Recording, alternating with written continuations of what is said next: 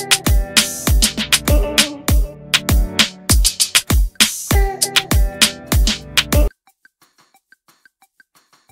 าม่าเสื้ออูนไดมอนด์เกรน คอแคบลูกค้าขอเคลมต้องใช้ตัวขึงผ้าโรงทอวัดผิดหวังอย่างแรง ลูกค้าขอเคลมเสื้อ อูนไดมอนด์เกรน โอดคอแคบใส่ไม่ได้ถูกตอบกลับต้องใช้ตัวขึงผ้าโรงทอเคลมเยอะเจ็ดครั้ง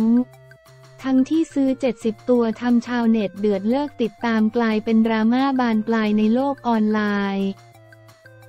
เมื่อลูกค้าแฟนพันธุ์แท้รายหนึ่ง ได้ออกมาโพสต์คลิปรีวิวเสื้อแบรนด์ Home To My Heart ของอูนชนิสรา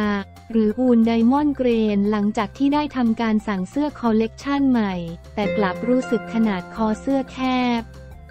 ใส่แล้วดึงรั้งเสื้ออึดอัดจนใส่ไม่สบาย ซึ่งในฐานะที่ชื่นชอบและเป็นลูกค้าประจำเธอจึงส่งเสียงไปทางแบรนด์และขอเคลมสินค้าดังกล่าวอย่างไรก็ดีเมื่อเข้าไปตรวจสอบเงื่อนไข การเคลมสินค้า กลับถูกเปลี่ยนแคปชั่น 3 เดือนย้อนหลัง การบวกลบของขนาดเสื้อ Home To My Heart ลูกค้าสามารถเคลมเสื้อได้เลย หากวัดเจอ เสื้อตัวไหนที่มีความคลาดเคลื่อนของขนาด ก่อนซักบวกเกิน 5%สามารถเคลมสินค้าได้ค่ะ ถ่ายวิดีโอไว้ตอนเปิดถุงแล้ววัดได้เลยนะ ตอนนี้ยังไม่เจอก่อนสักมากกว่า 5% แต่โพสต์ให้ไว้ก่อนเพื่อความสบายใจ และเข้าใจมาตรฐานการเคลมตรงกันค่ะ ดอกจันอ่านเพิ่มเติมเรื่องผ้าละเอียดขึ้นได้ในแคปชั่น เช่นเดียวกับลูกค้ารายอื่นที่ประสบปัญหาเดียวกัน รู้สึกว่าคอเสื้อรุ่นหลังคอแคบกว่ารุ่นแรกแรกที่ซื้อก็ได้เอาตลับเมตรมาวัดคอเสื้อรุ่นต่างๆ เปรียบเทียบขนาดที่ต่างออกไป พร้อมเข้าไปสอบถามแอดมินกลับได้คำตอบว่า คุณลูกค้าเวลาวัดคออาจจะต้องใช้ตัวขึงผ้า และการจับผ้าที่เท่ากันแบบในโรงทอ ถ้าวัดแยกจะเทียบกันไม่ตรงครับคิดว่าผ้าที่หนาขึ้นอาจจะทำให้รู้สึกแคบขึ้นได้ค่ะ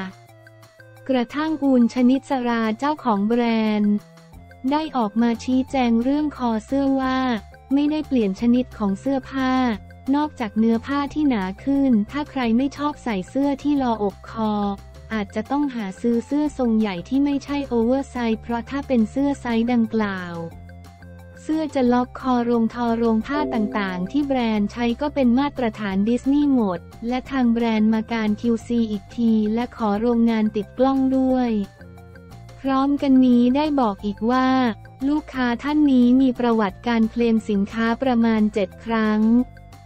ทางเราไม่แน่ใจว่ามาตรฐานที่เขาเคลมมาแต่ละครั้งเป็นอย่างไร รอบนี้เรารู้สึกว่าให้เขาลงส่งสินค้ากลับมา แล้วเดี๋ยวเราจะส่งกลับไปให้โรงงานวัด แล้วลองเทียบเลยว่าเบี้ยวจริงไหม ถ้าเบี้ยวจริงจะได้ไปแก้ไขที่โรงงานต่อ งานนี้เมื่อเผยแพร่ออกไปประเด็นดังกล่าวทำชาวเน้งเป็นไก่ตาแตกสร้างขอถกเถียงในโลกโซเชียลอย่างมาก เพราะชาวเน็ตมองว่ามันเกินไปทำไมเจ้าของแบรนด์ต้องพูดถึงการเคลมของลูกค้าถึง 7 ครั้ง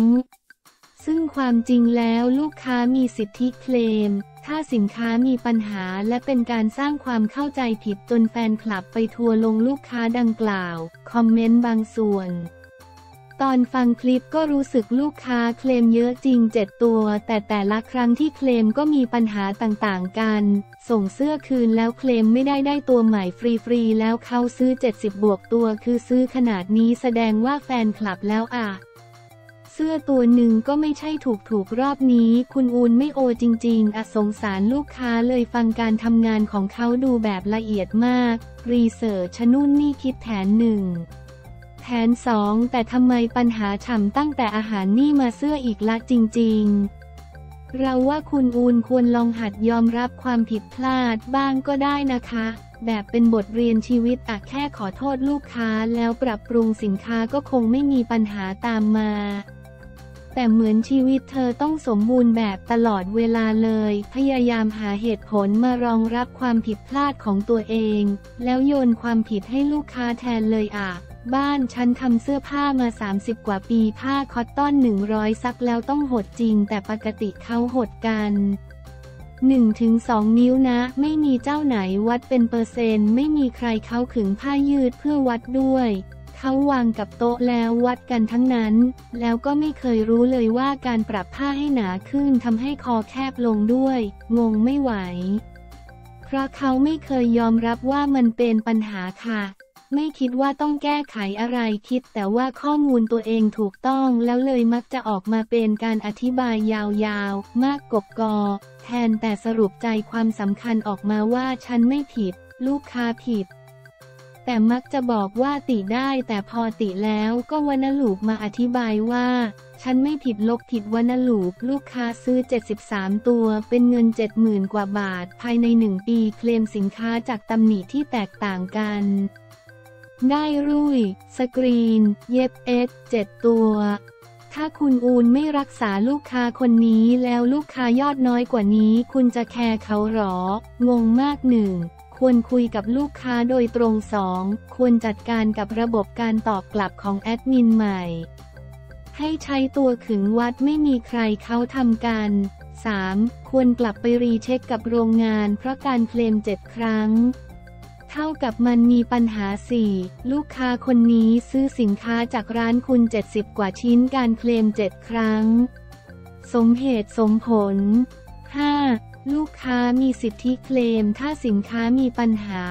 ล่าสุดอูนก็ไม่รอช้าได้ออกมาขอโทษเป็นที่เรียบร้อยแล้วคลิปที่พูดถึงเคลมเสื้อ 7 ตัวมาจากไลฟ์ที่มีคนตัด ลง TikTok ตอนนี้คลิปนั้นถูกลบไปแล้วค่ะ แต่ยังมีคลิปที่ยังถูกแชร์ต่อในโซเชียลอื่นๆ สิ่งที่เราพูดมันพูดแบบไม่มีข้อมูลการสั่งซื้อทั้งหมดทำให้เกิดความเข้าใจผิดกับลูกค้า มีคนต่อว่าทำไมเคลมเยอะทั้งๆที่จริง ๆ เป็นลูกค้าประจำสั่งกัน เยอะมากประมาณ 30 ตัวเก็บเกือบทุกชิ้นเลย ในฐานะแบรนด์เราควรอธิบายให้ละเอียดกว่านี้ ลูกค้าเจ้าของแชทและเจ้าของเสื้อคือคนละคนกับที่ทำคลิปค่ะ ลูกค้าเจ้าของแชทไม่มีชื่อและภาพในโซเชียลใด ๆ ค่ะ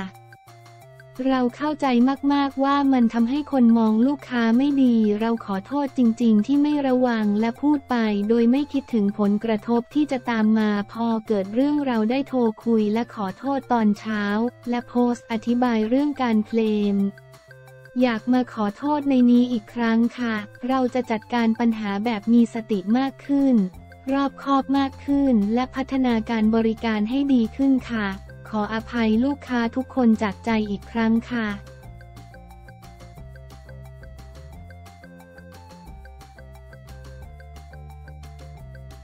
ปลิวแล้ว ป้าแตนกุมขมับช่องลุงพลป้าแตนแฟมิลี่ โดนปิด วอน FC ช่วยเหลือปลิวแล้ว แตนกุมขมับช่องลุงพลป้าแตน แฟมิลี่โดนปิด ยอดวิว 200 ล้านหายวับไปกับตาร้องขอความช่วยเหลือด่วนภายหลังศาลจังหวัดมุกดาหาร อ่านคำพิพากษาคดีที่อัยการจังหวัดมุกดาหารเป็นโจทก์ฟ้องนายชัยพลวิภาหรือลุงพลจำเลยที่หนึ่งและนางสมพรหลาบโพหรือป้าแตนจำเลยที่สองในคดีการเสียชีวิตของน้องชมพู่ วัยสามขวบที่หายออกไปจากบ้านในพื้นที่บ้านกกกอก ตำบลกกตูม อำเภอดงหลวง จังหวัดมุกดาหาร เมื่อวันที่ 11 พฤษภาคม 2563ศาลพิพากษาว่าลุงพลมีความผิดตามประมวลกฎหมายอาญามาตรา 291-317 วรรคแรกฐานกระทำโดยประมาท เป็นเหตุให้ผู้อื่นถึงแก่ความตาย จำคุก 10 ปีฐานพรากเด็กอายุไม่เกิน 15 ปีไปเสียจากบิดามารดาปราศจากเหตุอันควร จำคุก 10 ปีข้อหาอื่นสำหรับจำเลยที่ 1 ให้ยกและยกฟ้องโจทย์สำหรับจำเลยที่ 2 กับให้จำเลยที่ 1ชำระสินไหมทดแทนทางแพ่งให้แก่โจทย์ร่วมทั้งสองล่าสุดวันที่ 23 ธันวาคม 2566 นางสมพรหลาบโพหรือป้าแตน ได้อัดคลิปแจ้งข่าวถึงแฟนคลับ และผู้ติดตามผ่านทางช่อง YouTube มนโอม โดยตั้งหัวเรื่องคลิปนี้ว่า ช่องลุงพลป้าแตนโดนปิดรับชมได้ที่ช่องนี้ ลุงพลป้าแตนแชแนลคลิกลิงก์ด้านล่างในคอมเมนต์ โดยป้าแตน นั่งกุมขมับก่อนจะเปิดเผยภายในคลิประบุว่าขณะนี้ช่องลุงพลป้าแตนแฟมิลี่โดนปิดเจอปัญหาเล็กๆ น้อยๆ ซึ่งอยู่ระหว่างการยื่นอุทธรณ์ประมาณ 2 วันขอฝากช่องลุงพลป้าแตนแชนแนลเพราะไม่รู้ช่องเก่าจะกลับมาหรือไม่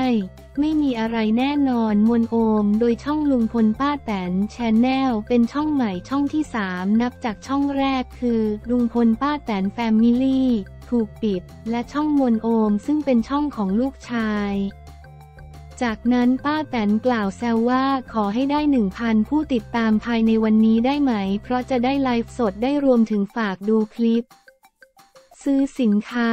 กดไลค์ กดแชร์เพื่อเป็นกำลังใจและเปิดรายได้ให้กับช่อง YouTube ดังกล่าว พร้อมเปิดภาพคู่ลุงพลและป้าแตนที่จะใช้เป็นภาพโปรไฟล์ เพื่อป้องกันการติดตามผิดช่องมวลโอม